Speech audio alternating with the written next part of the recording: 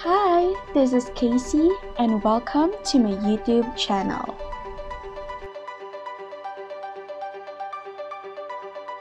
So here's the tea. Kim Chu, may revenge sa Bashurst. Hindi nga lingid sa kaalaman ng lahat that actress singer Kim Chu has been cyberbullied last week dahil sa kanyang viral meme, Bawal Lumabas. Sa mga hindi nakakaalam, naging viral nga si Kim in a live stream hosted by ABS-CBN dahil sa kanyang tila kalat na thoughts when asked about the station's shutdown. The viral meme goes like this. So, ang laging binabato sa amin, law is law, law is law. Paulit-ulit, paulit-ulit. Hindi ka graduate ng law, huwag ka magsalita. Eh kayo na nagsasabi sa amin kung graduate kami ng law. Graduate ka din ba ng law? May alam ka ba sa batas? May alam ka ba sa nangyayari ngayon? May alam ka, napanood mo ba yung Senate hearing ng ABS sa, sa Senado? Alam mo ba kung ano yung sinasabi mo? So law, ibig sabihin batas. So kaya ginawa ang batas sa isang democratic country na kung nasaan tayo ngayon is para maging pantay-pantay ang lahat ng tao. Sa classroom may batas. Bawal lumabas o bawal lumabas. Pero pag sinabing pag nag-comply ka na bawal lumabas, pero may, sina- may ginawa ka sa pinagbabawal nila, inayos mo yung law ng classroom nyo at sinabmit mo ulit, ay pwede na pala ikaw lumabas. So kung wala ka namang nilabag na batas, bakit ka ipapasara ng isang NTC na pag-aari ng gobyerno? Samantalang may ibang franchise channels, franchise radio station ngayon, I think seven, hindi nila pinasara. Tanging ABS lang ang sinara. Yung anim na yun, or hindi ko alam kung ano yung tamang number na na-expire na rin yung franchise, nag-ooperate Mm. pa rin hanggang ngayon. So, nasaan ang batas? Law is Mm. law. Wow. Hindi po ako lang to, pero ito lang yung opinion ko and hindi po ako graduate ng law, pero yun po yung alam ko.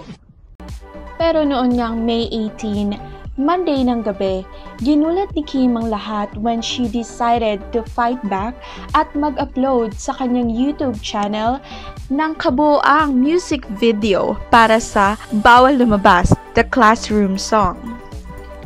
Of course, it was performed by Kim Chu herself, words and music by Kim Chu, Adrian Crisanto, and Squammy Beats, backup vocals by Shir Kataran, vocal arrangement by Jonathan Manalo, beat, track, mix, mastered and produced by Squammy Beats, and overall production by Jonathan Manalo. It was actually released under Star Pop label. Bago nga nilabas ang music video, makikita rin sa content na nilabas ni Kim Chu sa kanyang YouTube channel kung gaano siya nagpapasalamat kay Anthony na una nang nagpaabot sa kanya ng open letter about sa nangyari. Inamin din ng aktres na sobrang naapektuhan siya emotionally sa nangyari at minabuti na rin niya na umiwas muna sa social media at magkaroon ng time for herself and to reflect. She embraced her fault and chose to forgive the netizens who bash her rampantly. Hello, everybody! So, sa lahat ng mga naghahanap sa akin sa social media, yes, I am back, your teacher sa classroom. Charot! Eme lang! Eme, eme lang. But, just like a flower, wow, flower kinumpare, kaya binackground ko talaga tong flower sa likod ko because um, nagsara muna ako ng puso at isipan ko because of what happened. Siyempre, maraming mga taong um, perfect. Ah, hindi, charot. Eh, just lang. Pero, um, aminin ko, hindi naman din ako mag-lie to anyone each and everyone sa inyo. Um, I was really down the past few days, as in, super down, pinakamababa pa sa basement ng parking lot na din ako. But of course, syempre, pag may problema, hindi mo dapat tinatambayan. So, dun tayo sa option na move forward. Ang mga problema sa buhay, yan lang yung mga example na magpapatatag sa character natin bilang tao. Kasi syempre, dito sa mundo, ang daming temptations, ang daming taong makakasakit sa'yo. Pero alam mo naman na yung mga taong makakasakit sa'yo, it will teach you how to grow, how to be yourself. Pero yun lang yung magtuturo talaga sa atin ng mga bagay na hindi natuturo ng ibang tao sa atin. Kasi wala naman tayo ibang kakapitan kundi sarili lang natin. So, dahil dyan, I stop tinigil ko ang social media, tinigil ko ang lahat ng makakapasok sa akin. Kasi syempre, kontrolado mo rin yung emosyon mo. Kontrolado mo kung ano yung papapasukin mong emosyon, tsaka kung ano yung hindi mo papapasukin. So, I chose to stay away sa cellphone ko. Kahit cellphone ko, hindi ko hawak for ilang days just to keep my sanity. And okay lang, okay lang din naman ako kung sino man yung nagsalita ng masama sa akin. Okay lang, wala naman gusto ko lang din magpasalamat. Thank you so much dahil sa inyo naging trending yung pangalan ko. Salamat sa atensyon na binigay niyo sa akin. At least, uh, napasaya kayo. ba diba? Para sa social media naman, nandun naman yung happiness and nandun din yung sadness. So, pili ka lang kung ano yung gusto mong path. Yung masaya or yung malungkot. Yes, nalungkot. Nal malungkot talaga. Ah, oo naman. Kahit naman sino ilagay niyo yung yung sarili niyo sa posisyon ko nung time na yon mabigat talaga siya mabigat talaga as in di ko in-expect na kaya magsalita ng mga tao ng ganun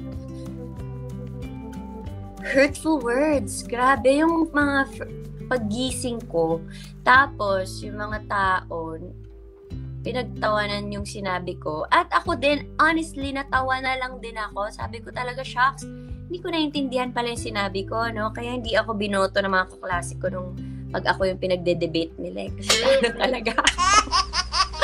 But oh well, past is past. It's done. And now, nandito na tayo ngayon into another chapter. And I want to make things um, negative into positive. Para, kasi ang dami na rin malungkot na tao ngayon. So, dahil sa bawal lumabas, natawa sila. At least, siguro kung kung that keeps them home, that makes them happy, siguro, sabi ko na lang sa ko, siguro I'm doing a good job. Parang, na-enjoy ko naman, na-enjoy naman nila yung words ko.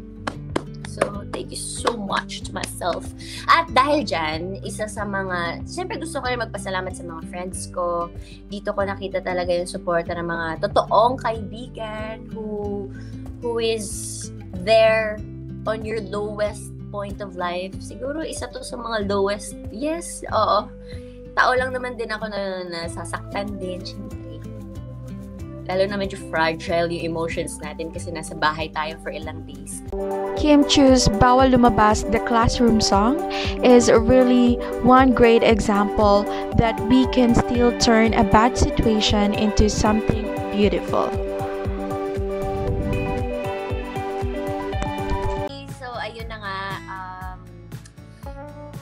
Nagawa ko na yung kanta, na pumayag na si Adrian, ang bilis niya, in just one click, nakagawa na siya ng kanta. And si DJ Squammy din nagawa niya na rin yung beat.